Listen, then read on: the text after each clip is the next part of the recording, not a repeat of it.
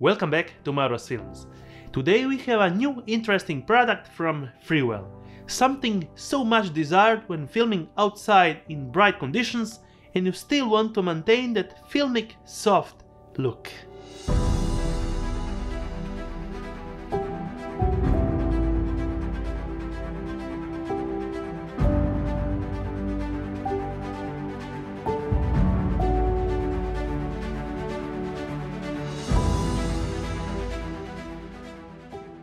We're talking about the Freewell Mist X variable ND filter. So what's an Mist ND filter?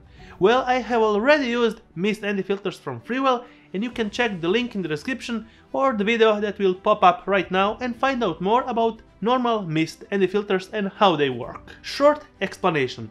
The glass inside this VND X mist filter is slightly altered to get you a softer image.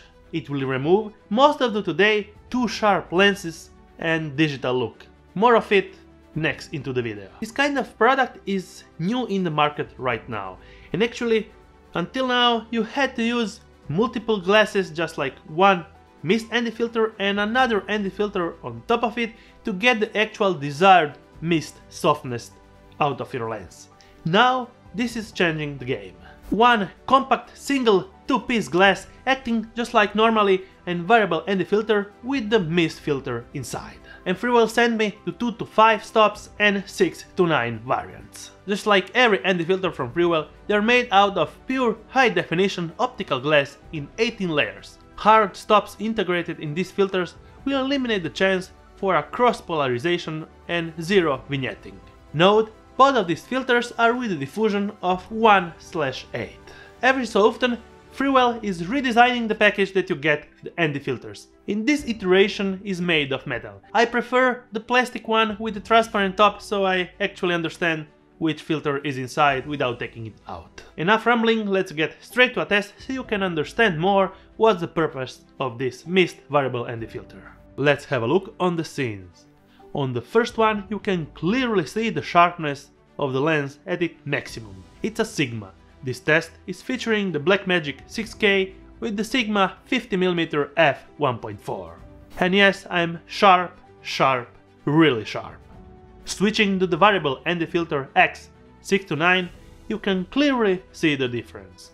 Zooming in, you'll get a more softy look even with this really sharp lens. I'm getting the same results when used with the 35mm f1.8 for this comparison test on my Sony a7 S3 handheld. When shooting toward bright objects like sun, the variable ND filter X mist filters will give you much more a softer lens flare and actually a dreamier film look if you want to call it like that. The standard variable ND filter will get you just a lens flare. So if you are in the league for an all-in-one solution, this could be your perfect choice, because Freewell is making them up to the 82mm filter thread lens.